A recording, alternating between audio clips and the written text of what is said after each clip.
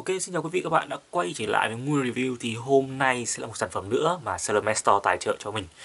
Thì phải nói này.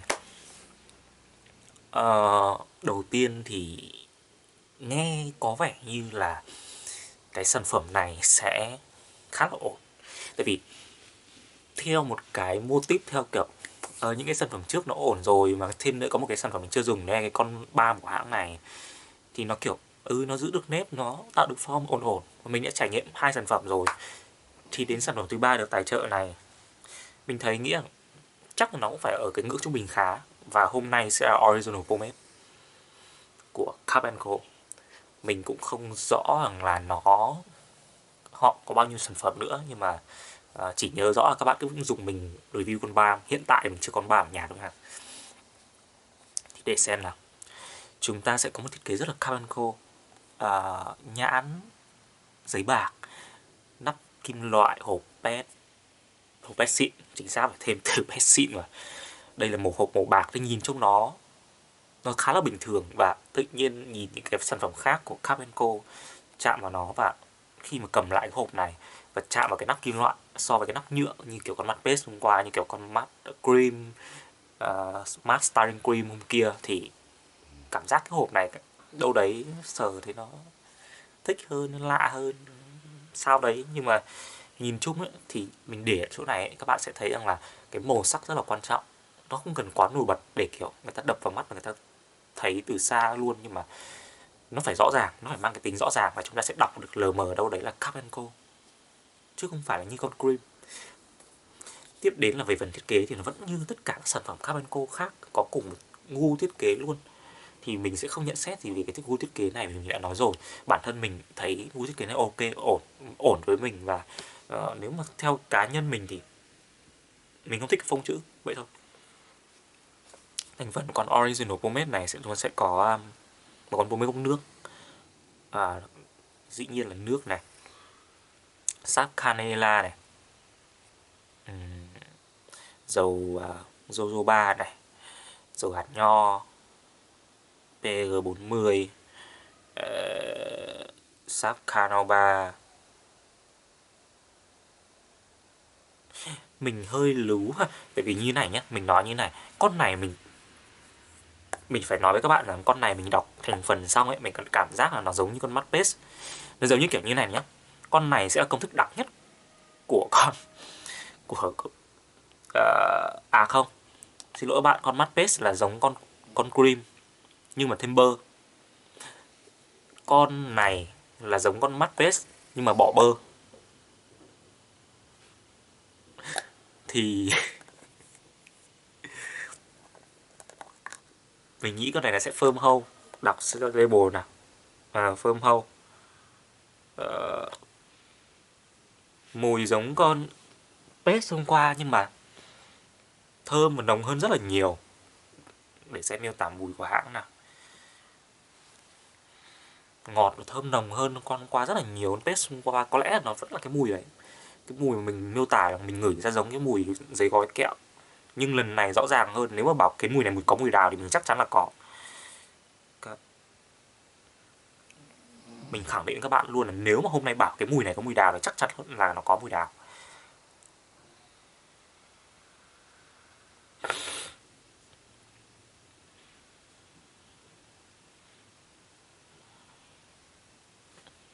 Nào, để xem mình đúng hay sai nào.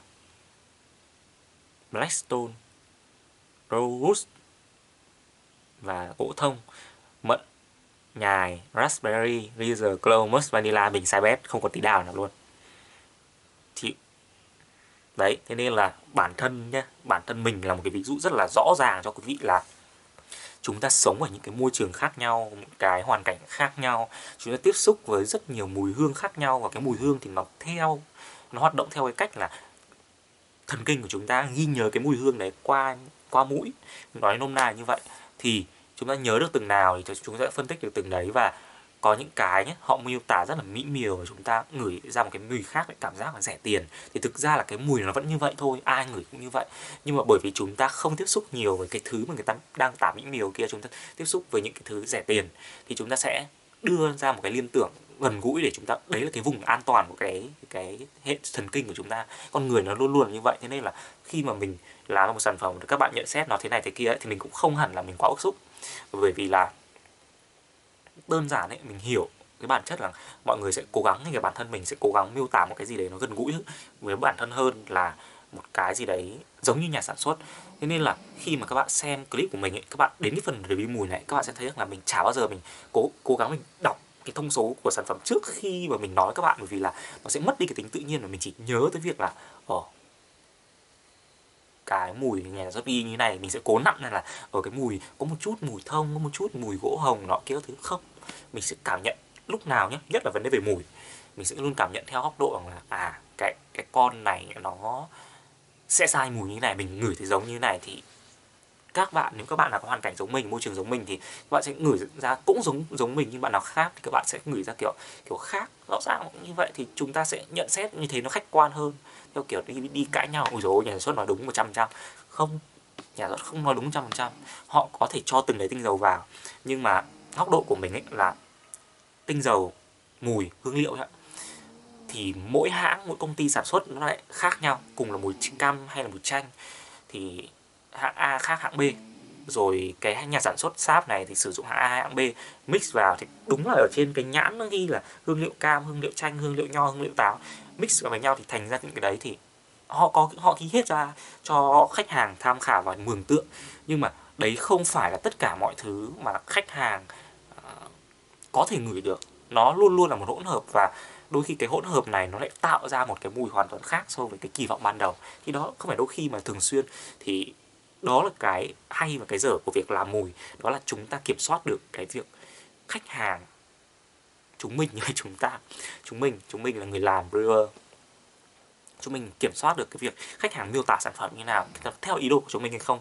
Thì góc độ mà làm sản phẩm nó như thế, nó thành công từ bước bước một là khách hàng phải đọc tên cái mùi mà mình không cần phải giới thiệu. Thì như vậy mới gọi là chuẩn của chị. Chưa cần biết là sản phẩm có tốt nào nhưng khách hàng chỉ cần không biết gì về thông số sản phẩm gửi lên phát thấy ngay được cái mùi đấy thì đó là cái thành công bước một của Brewer thì với một con sản phẩm à, quay trở lại với sản phẩm original pomade của Camanco thì với một con sản phẩm pomade gốc nước kiểu hybrid này thì mình đánh giá là sau khi đọc thành phần mình đánh giá là mình nghĩ nó sẽ ở ngưỡng trung bình.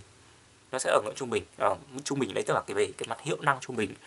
À, tuy nhiên thì với một thương hiệu mới vào thị trường như Cap Co thì mình nghĩ rằng họ sẽ là một cái sản phẩm có một chút gì đấy khác biệt và có một cái chút gì đấy nó ở ngưỡng không phải là ngưỡng trung bình mà là ngưỡng khá và tốt. Thì bởi vì họ đi sau họ sẽ họ đã trải nghiệm nhiều các sản phẩm khác rồi nên là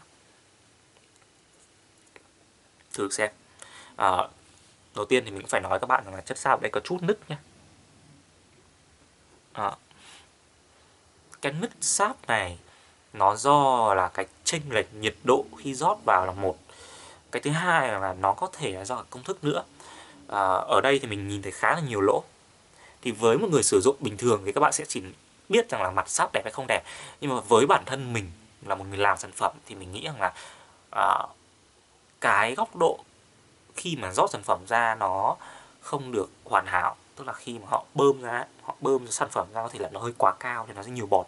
Và thêm nữa là với những cái công thức như này thì mình nghĩ là nó khá nhiều nước nên nó mới, mới sủi bọt lên như thế này. Chứ còn ví dụ như là bỏ nhiều sáp với clay và các bạn hình dung là nó đặc lại nó đặc lại thì nó sẽ không bị bọt như này đâu. Nó không bị bọt bọt khí này là do là do là một là nói theo cách chuyên môn là do cả chất hoạt độ bề mặt nữa nó là chất làm căng. Thì cái bọt này là do là cái bề mặt của sáp nó về cơ bản nhé là cái hãng này nó sẽ không bỏ những chất đấy vào. Họ sẽ chỉ họ sẽ cố gắng làm sao mà thuần tự nhiên nhất có thể, thì việc xuất hiện bọt thì nó là điều hiển nhiên, là điều hiển nhiên. Nhưng mà với công thức mà có bọt như thế này thì để rồi nứt như thế này thì mình cảm giác rằng là nếu góc độ của một khách hàng cá nhân, kiểu, không biết gì về giám sát thì mình cảm thấy nó không an toàn. Mình cảm thấy nó không an toàn. Nếu các bạn các bạn xem clip này, mình tin các bạn cũng như vậy. Tức là khi mà xem chất sáp ở ừ tự nhiên cái sáp này nó nứt, tự nhiên nó có lỗ này, nhìn trông nó trông trông trông nó không bình thường một chút nào. Chúng ta mua lọ sáp chúng ta muốn nó mặt sáp đẹp mặt sáp nó mịn đấy nó có thể có một cái lỗ to trình hình ở giữa nhưng mà đó cũng không có vấn đề gì. Đây là cái lỗ bọt bọt khí rồi lại nứt nữa cho nên là khi khi này thì cái người bán nó rất là khó vì người ta phải thuyết phục khách hàng là ở cái sản phẩm đấy nó khá là bình thường à, nó không gọi là bất thường so với những cái sản phẩm khác. Nó chỉ đơn giản vì cái công thức là như thế và nó sẽ không hỏng. Thì nó khá mất khá là nhiều công và cái này cũng là một cái cho các brewer trong tương lai, nếu các bạn đang xem clip này, lưu ý rằng là nếu khi các bạn làm ra sản phẩm các bạn làm trong bản test thì các bạn nên làm theo hai trạng thái. Một là trạng thái 10 gram, trạng thái 10 gram là trạng thái mà đem cái mẫu đấy đi cho ai đấy thử, vuốt thử. Và trạng thái 30 trạng thái 50 và trạng thái 100 gram. Và các bạn phải thử nghiệm ở trên, tức là khi các bạn đã có một công thức rồi để phát 10 gram, thì cái bước tiếp theo đấy là thử nghiệm về chất xác tức là khi mà các bạn rót ra tùy vào những cái chai lọ khác nhau. Các bạn phải có những cách rót khác nhau rồi. Nếu mà các bạn phải quan sát khi mà nó khô tức là mình không phải ngồi canh mình nhìn vào từ lúc nó nó đang lỏng lỏng bọng nước mà mình nhìn mà mình cứ để đấy xong rồi mình quan sát là à đến khoảng bao nhiêu thời gian nó khô lại trong cái môi trường này nhiệt độ này độ ẩm này. Đấy thì mất bao nhiêu thời gian này rồi uh, kết quả nó ra sao này nó mềm nó đặc nó cứng nó khô nó nọ kia này. Thì các bạn cần lưu ý cái, cái này và cái này nó xuất hiện nhiều nhất ở trong các công thức gốc nước gốc, gốc dầu thì nó khá là hiếm. Thế nên là lưu ý lưu ý cực kỳ lưu ý. Bởi vì nếu mà đưa ra đưa bây giờ nhá ở thời điểm 2021 và sắp tới là 2022 khi mà một cái sản phẩm ra ngoài thị trường ấy mà nó có chất xám như này ấy, thì mình đánh giá rằng là nó khá là kém nó khá là kém. Nó không phải kém về mặt hiệu năng mà khi mà chúng ta xã hội đang đi lên mà các bạn nó luôn đi lên thì chúng nó yêu cầu cao hơn và không chúng ta không thể nào có chỉ ở một chỗ mà homebrew cứ đổ ra những cái chất sáp mà nhìn cho nó khá là xấu và người bán phải mất rất là nhiều công để thuyết phục rằng là ở chất sáp này nó bình thường. Thì theo mình ý, thì Carbon Co uh, Original Pomade không phải là vì gì mình mình đang dìm đâu bởi vì cái này là hàng tài trợ mà. Nhưng mà phải nói rằng là trong một chỉ một cái trải nghiệm từ lúc cầm lên và mở mở nắp cái sản phẩm ra, thì chúng ta đã thấy Carbon cô sẽ fail khoảng 3 cái đề mục.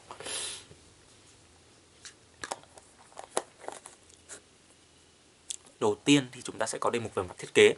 Tất nhiên là cái mặt thiết kế này không hẳn là nó fail, coi như là tự mình mình cứ tính ba cho nó nhiều. Bởi vì là thiết kế này, bản thân của Carbon cô sẽ không có tính nhận diện cao và cái phông chữ này cũng không gây cái thiện cảm cho người sử dụng. Nó cũng không có một cái tác dụng gì nhiều. Đây ví dụ các bạn bày Carbon cô trên bàn các bạn bày như này thì sẽ ra Carbon cô, các bạn bày ở đây như này cũng ra Carbon cô nhưng cái này là cái tính lợi dụng cái thương hiệu để thương hiệu xuất hiện nhiều. Nó là cái cái tôi cá nhân của thương hiệu. Thì cái điều này cũng dễ hiểu khi mà làm sao nhưng nó sẽ không có cái tính nhận diện và nó không có tính thẩm mỹ. Nó chỉ đơn giản là tôi làm ra một cái hộp đựng có cái tên thương hiệu, có cái tên sản phẩm, có đầy đủ thông tin, thông số sản phẩm, thì đây Cabanco nó không có tính nhận diện gì cả. Các bạn cứ để ý xem, nếu các bạn nhìn vào các hãng khác, các bạn thấy rằng là các bạn muốn mua cái này, cái kia để sưu tầm này này kia, thì rõ ràng có. Mình nói ví dụ nhé Hen Foucault thiết kế chục lọ như một, nhưng cái lọ của họ gần như trong suốt và các bạn có thể nhìn thấy màu chất sáp bên trong. Và thêm nữa là cái hiệu năng cũng rất là khác biệt, nhưng mình không nói về Hen Foucault so sánh với Cabanco Labmade so sánh Homebrew rất là khủng khiếp thì ở đây mình đang chỉ cho các bạn là một cái fail nhưng cái này thì nhỏ nên nó không đáng kể gì mấy. Chúng ta có thể hoàn toàn chấp nhận cái điều này. Mình cũng có thể chấp nhận được. Kiểu, ok, cái này có thể thay đổi được. Rất là rất là dễ. Cái thứ hai, đấy là mùi hương.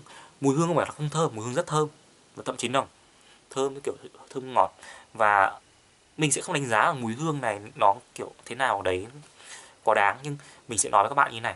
Cái mùi hương này sẽ không mình không phải là vì mình mình nhận xét fail mà mình gì người ta đâu nha. Nhưng mà đây là ví dụ cho các bạn thấy rằng là để mà làm homebrew tốt ấy hoặc lúc cơ bản thì chúng ta cần những gì? Thì cái mùi hương này sẽ không cho khách hàng liên tưởng tới một cái gì đấy. Chính xác nhưng mà mình muốn, như là chủ hãng muốn. Thì đây là cái sự không kết nối được với nhau giữa khách hàng và người làm sản phẩm. Đó. Tiếp đến là cái chất sản phẩm như mình vừa phân tích với các bạn. Cái chất sản phẩm này cho những cái người mới hoàn toàn mua cái sản phẩm này có một chút lo ngại lo sợ thì đúng hơn. Về cái độ bền của sản phẩm thì cái điều này nó sẽ cũng lại là một cái khoảng cách nữa so từ người nấu brewer cho tới người mua đấy là uh, buyer. Uh, thì nếu mà xét ra ấy, Capenco mà không phải là thương hiệu nước ngoài mình tin chắc chắn rằng với cái sản phẩm này là nếu mà make in Việt Nam sẽ chê rất là nhiều sẽ bị chê rất là nhiều mình thề với các bạn luôn. Cứ đặt mình cứ đặt các bạn thử cứ thử nhắm mắt và cứ coi như là không biết Carbon Co là từ Úc đi. Đặt đây là sản phẩm của Việt Nam. Với tất cả những cái này, các bạn sẽ nói những cái gì? Mình tin chắc chắn rằng các bạn sẽ chê nhiều hơn khen. Nhưng mà một sản phẩm nó không chỉ có những cái điều như vậy. Nó khẳng định bản thân nó có tồn tại thị trường bởi chính hiệu năng của nó. Và bây giờ thì Nguyên Review sẽ cho các bạn xem hiệu năng của con sản phẩm này và mình tin rằng nó rất là tốt. Chất sản phẩm đặc nhưng mà bở nói hơi ngoa một chút, con paste hôm qua review có bơ, còn không bở như con này. Thực sự mà nói, con này cảm giác, con này cảm giác xoa ra tay mới, giống như kiểu là trong thành phần có bơ. Xoa tay thì dễ thôi, nó không có cái gì sạn cả xoa tan hoàn toàn. Mùi mình ngửi bây giờ là giống như kiểu cái mùi kẹo các bạn. Nó rất là thơm.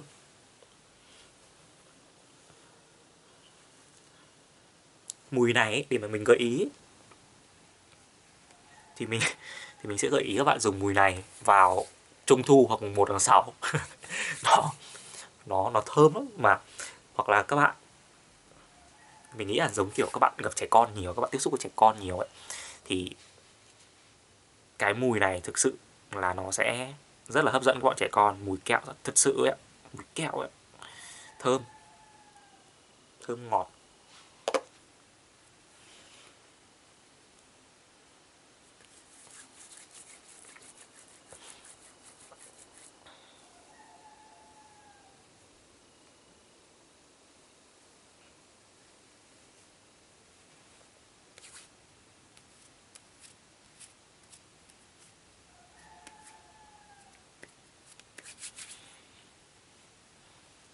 Vuốt lên tóc thì ban đầu chưa chạm và chưa lùa vào, cảm thấy nó dít. Không biết là lùa vào thì nó sẽ như thế nào nữa. Cũng không để nỗi rít lắm.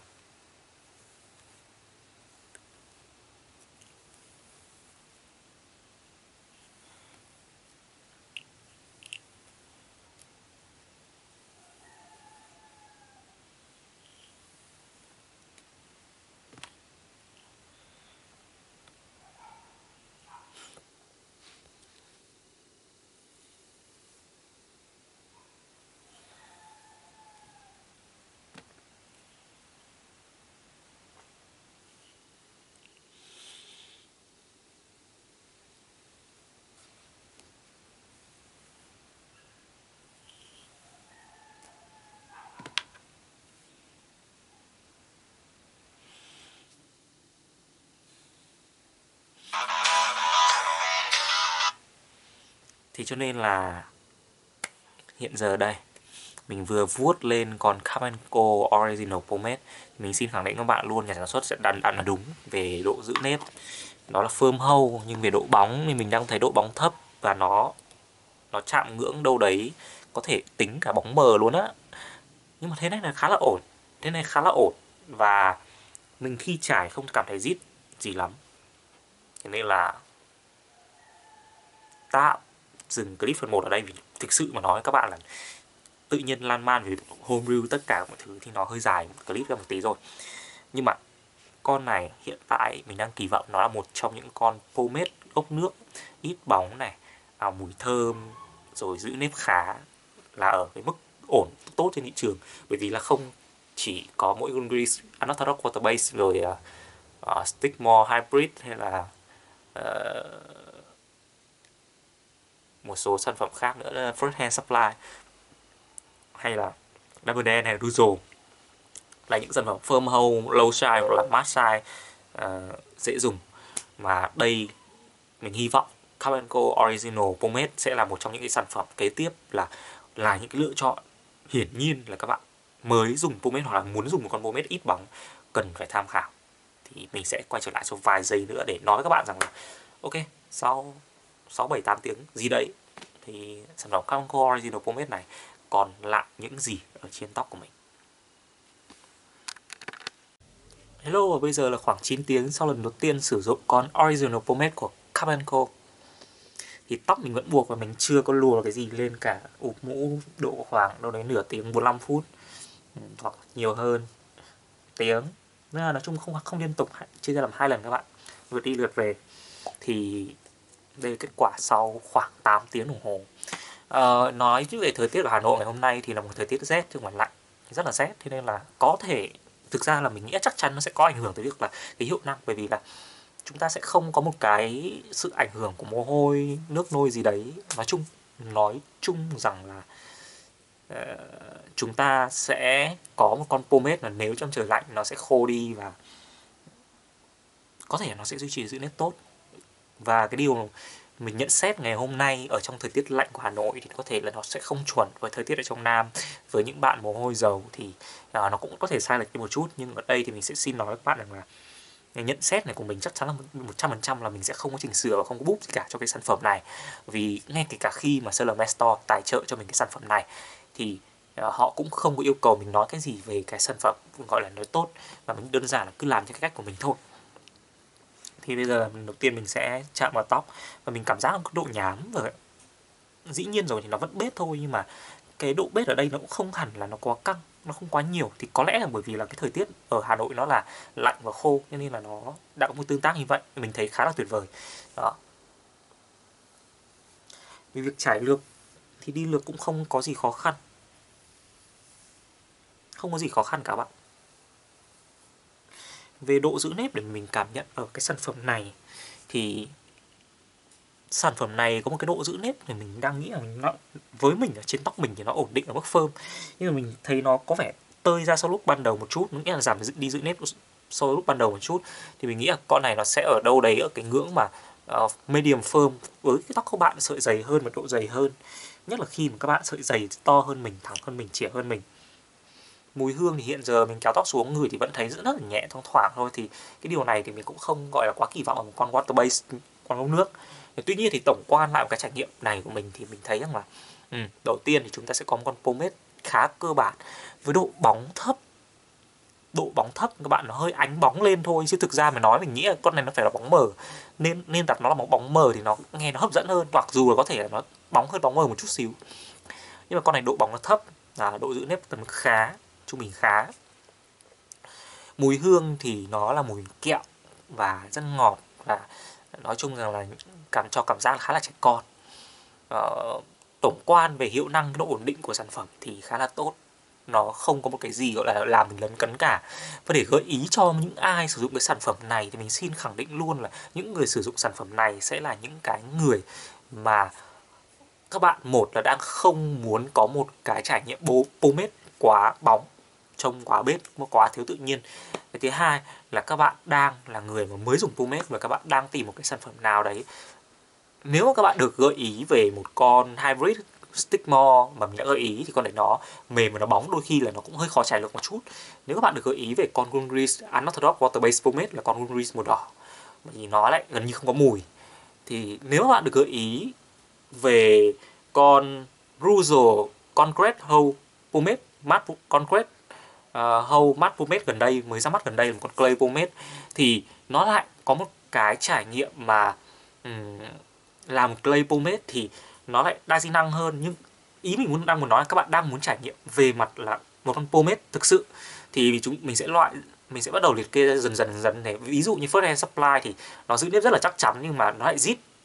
Thì đây sẽ là một cái trải nghiệm ở mức gọi là mình sẽ xin phép sử dụng cái từ gọi là cân bằng. Cân bằng ở đây tức là gọi là trải lược thì cũng không hẳn là quá mượt như kiểu con Stickmore Hybrid. Gọi là giữ nếp chắc chắn thì cũng không như con Ford and Supply On Popo Pomade.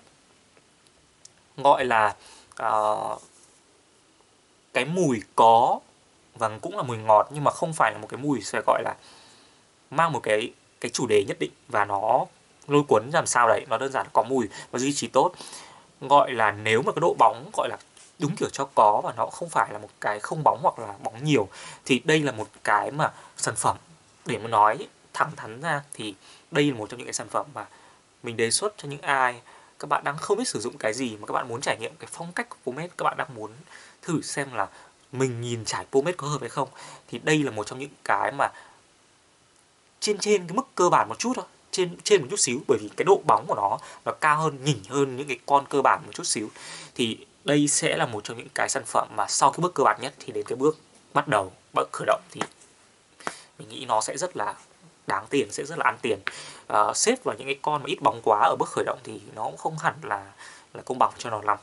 Thì đây đó là ngày hôm nay của nguồn review với Carmenco Original Pomade. Thì theo mình tìm hiểu con Original Pomade này còn có con phiên bản medium hâu nữa. Nhưng mà với mình ấy, thì mình nghĩ rằng là phiên bản medium hâu thực sự là quá thừa thãi bản thân mình đang sử dụng đây, mình chỉ lên được firm hold một cái firm hold này thực sự là nó chạm đến ngưỡng thôi, chứ nó không hẳn là nó quá chắc chắn ở mức ngưỡng firm hold thế nên là với phiên bản medium hold mà về Việt Nam mà theo cái đúng cái kiểu giữ nếp này thì mình nghĩ là nó thậm chí là có những bạn còn xuống đến live hold với cái sản phẩm medium đấy. Nhưng mà thôi thì mình cũng may mắn hình như mình nhớ nhầm là hình như ở Việt Nam không có đấy. Thì chốt lại. Carbon Co Original Pomade là một sản phẩm firm hold pomade với độ bóng thấp hơi ánh bóng lên một chút à, với mùi kẹo ngọt ngào và bám khá là lâu. À, song hành cùng với đó đó là à, một cái bao bì tạm gọi là cơ bản một cái bao bì tạm gọi là cơ bản và một mức giá tiền mình tạm coi như hợp lý. Thì đó là những gì mà các bạn đang được chính xác là vừa được trải nghiệm vừa được theo dõi và được xem mình trải nghiệm con Origin Pomade của Carmenco này. Có những cái nhược điểm mà cố hữu của Carmenco mình sẽ không nói lại nhưng uh, những cái ưu điểm lại rất là lớn lại rất đáng để ghi nhận và mình nghĩ rằng đây sẽ là một trong những cái lựa chọn mà rồi cũng sẽ khiến các bạn phân vân mà thôi uh, trên thị trường. Và nếu mà các bạn cần hỏi thêm gì về cái sản phẩm này hoặc một cái sản phẩm nào đấy khác thì bạn hãy comment bên dưới. Mình cũng hy vọng rằng là uh, sẽ có đủ thời gian dành để trả lời hết tất cả mọi cái thắc mắc của các bạn. Và như mọi khi thì hẹn gặp lại quý vị các bạn lúc 20 giờ muộn hơn mỗi ngày trên youtube của mình review. Cũng như là chúc quý vị các bạn thật nhiều sức khỏe luôn đẹp trai gặp nhiều thành công may mắn và niềm vui trong cuộc sống. Cũng như là nhớ phòng ngừa covid và đừng để tóc xấu người review.